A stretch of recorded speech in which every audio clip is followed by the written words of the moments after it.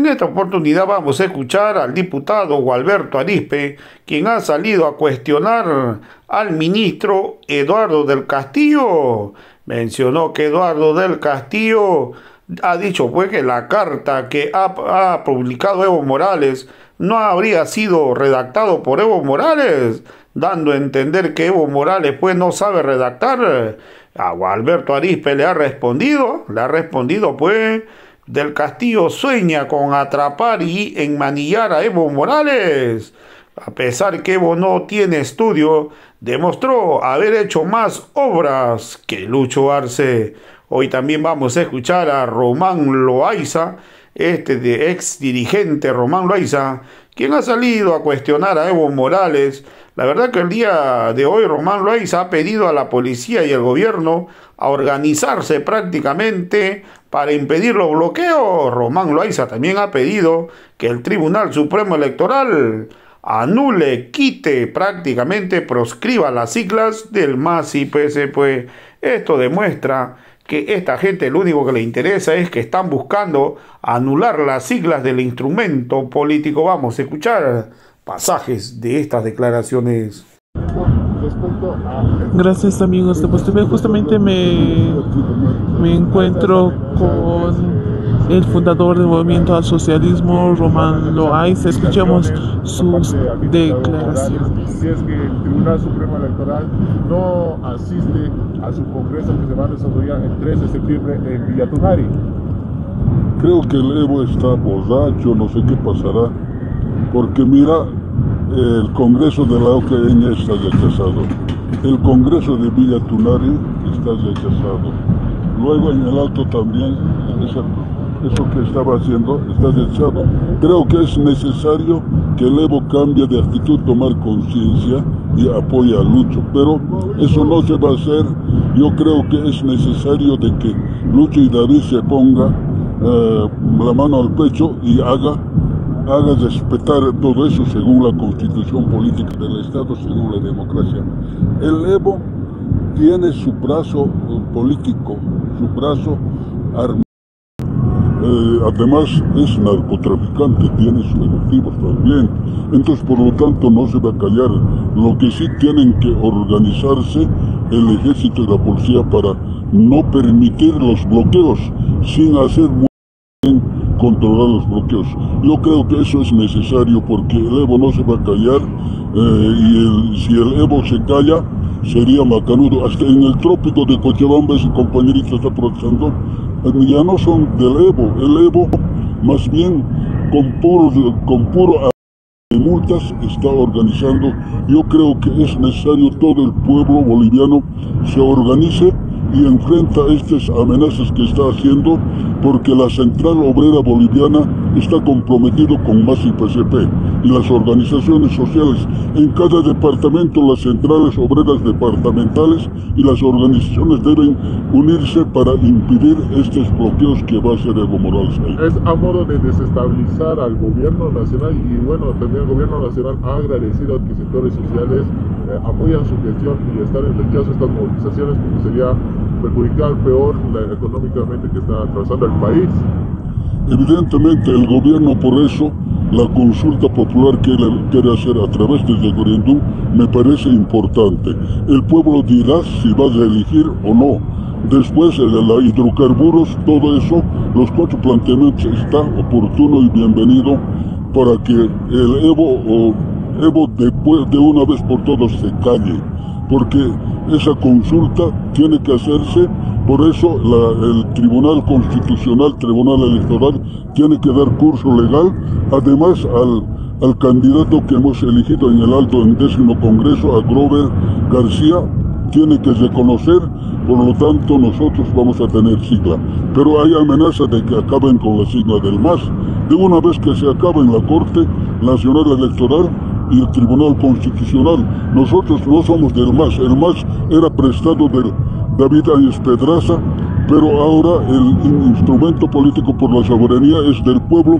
El pueblo vamos a organizarnos a través de las agrupaciones ciudadanas, todos nos vamos a unir para enfrentar 2025 con nuestro propio candidato del instrumento político por la soberanía del pueblo. ¿Van a tomar acciones en caso que el Tribunal Supremo Electoral no reconozca esta nueva directiva encabezada por Robert García, ya que estamos a pocos días también de que los partidos políticos deben presentar sus nuevas directivas?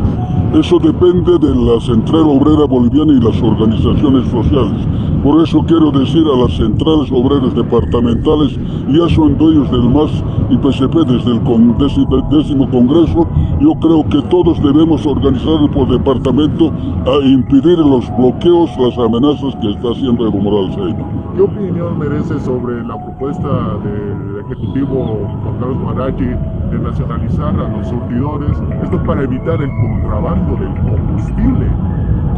Yo creo que ese planteamiento está bien porque eh, si nacionaliza combustible ya sería controlado por el Estado, pero ahorita hay negociado fatal, incluso fronteras pasan y están ganando hasta los transportistas, hacen ese mal negocio y en el pueblo hasta en, eh, hasta en plásticos están vendiendo, eso negocio es fatal, no podemos aceptar, por eso dentro del referéndum está también eso, para que el Lucho de David hagan lo que dice el pueblo. Debería considerarlo entonces. Se tiene que considerarse y se tiene que hacer adelante la, el referéndum que está convocando el gobierno. Obras públicas, atacar a Evo, hoy se suman de manera más abierta, incluso el mismo presidente ya no, no habla como antes del hermano Evo, más bien ellos son los que han cambiado totalmente. Creo que eh, el presidente Luis Arce Catacora, todavía por ahí el expresidente, el hermano Evo, ahora directamente señala, cuando estaba el Evo no se bien las cosas, pero cuando estaba el Evo, él también estaba ahí, por tanto, no es tan coherente lo que señala el presidente Luis Arce Catacora, pero asimismo del ministro de gobierno no hay que esperar nada bueno. Lamentablemente el ministro se ha convertido ya en el enemigo acérrimo del hermano Evo Morales Aima. Si por él fuera, seguro que ya quisiera atraparlo o enmanillarlo, porque ese es su sueño del ministro de gobierno. Pero sin embargo, detrás de Evo tenemos hermanos y hermanas que están decididos a defender su liderazgo, decididos a defender eh, la presidencia del MAS y PCP, decididos a defender eh, su liderazgo. Entonces, eso no los tiene tranquilos, lamentablemente, al ministro de Gobierno principalmente y algunos ministros como el ministro de Justicia. Y a un lado por ahí, al igual que un colega que tenemos acá, estoy hablando del ministro Montaña. Entonces, eh, nos tiene sin cuidado lo que señale el ministro de Gobierno. Eh, sabemos muy bien nosotros que Evo Morales durante su gestión de presidente no echaba la culpa a los anteriores que durante 20 años habían fregado el país, pero hoy, casi a cuatro años de gestión del presidente Luis Arce Catacora, no vemos ciertos resultados, sino estamos viendo cada semana que pasa más victimización y echando la culpa al anterior eh, gobierno que estaba a la cabeza del hermano Evo.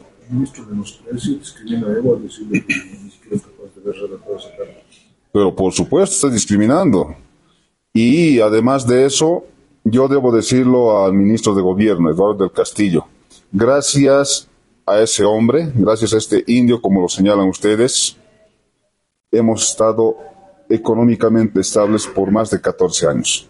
¿Qué significa de que uno que no ha ido a la universidad, uno que no ha entrado a casa superior de estudios, ha sabido administrar nuestra querida patria, ha sabido tomar decisiones en su momento para que los bolivianos y bolivianas nos beneficiemos de muchas obras en diferentes ámbitos. Entonces, eh, lo que señala Castillo es una ofensa, discriminatorio, eh, por el simple hecho de que el hermano Evo es indígena se tacha, y creo que no es el primer ministro, también lo hemos escuchado en algún rato al ministro de Economía, de que lo había tratado de, ignorante en materia económica, pero ahí están los estudiosos quienes eh, tienen sus maestrías, quienes han estudiado, lamentablemente nos están hundiendo eh, nuestra economía del país tema, esta, al mediodía se ha registrado un altercado eh, en contra de la alcaldesa Eva Copa en puertas de donde se realizaba el velorio del padre Pérez. una mujer eh, le llamó mujerzuela y la alcaldesa de Bacopa eh, la acusó de ser enviada de Evo Morales. No, no quisiera referirme al tema y creo que tampoco es ético cuando una persona o los familiares están de duelo, creo que se debe respetar más allá de las posiciones ideológicas que se tenga y no, no quiero inmiscuirme en el tema si hay alguna discusión de una o de otra índole. Soy muy respetuoso en este tema. Sin embargo, Evo Morales no envía a nadie para que ataque a la alcaldesa. De ninguna manera. Evo Morales está en otras cosas más importantes, no en este momento dando órdenes eh, y peor a esta señora que, eh, bien si no coincidimos ideológicamente después de su pasado en la Asamblea Legislativa, gracias al MAS y PSP, desde luego respetamos su, su autoridad, que hoy ejerce como alcaldesa de la ciudad del Alto, pero sin embargo hay que desmentir pues, en todo sentido y de manera categórica que nuestro hermano estuviera peor en estos momentos tan sensibles cuando la familia seguramente pasa por pena.